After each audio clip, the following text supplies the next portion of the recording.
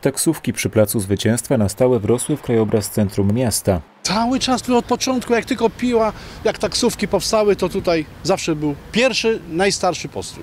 I zarazem największy. Urzędnicy ograniczyli jednak znacznie jego teren na rzecz ogólnodostępnego parkingu. To nie spodobało się taksówkarzom.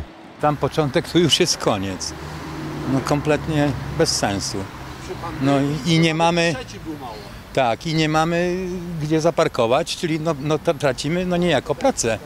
Bo jak mówią taksówkarze, teraz nie mogą tak jak kiedyś czekać na klienta w atrakcyjnym miejscu w centrum Piły. Po ograniczeniu miejsc postojowych do 10, wszyscy chętni się tu po prostu nie mieszczą. Wielu taksówkarzy staje więc poza wyznaczonym postojem. Jest tutaj cały czas y, łamanie przepisów y, ze strony y, kierowców, którzy tu parkują i z naszej strony, no nie oszukujmy się, ponieważ mamy tutaj też ciągłą linię, jest określony wjazd na parking.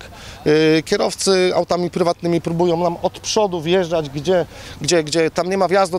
Jednym słowem istny galimatias. W takich warunkach nie trudno o uszkodzenie aut. Mustang no, został cały przerysowany. I to prawdopodobnie zrobił taksówkarz, no i był problem. Problemem bywa także sam wyjazd z nowego parkingu.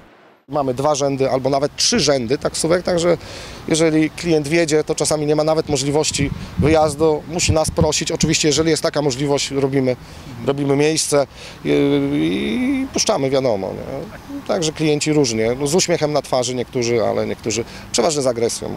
Zmiany, jak przekonują urzędnicy, wymusiły przepisy. Dotychczasowe e, rozwiązanie było rozwiązaniem nienormatywnym.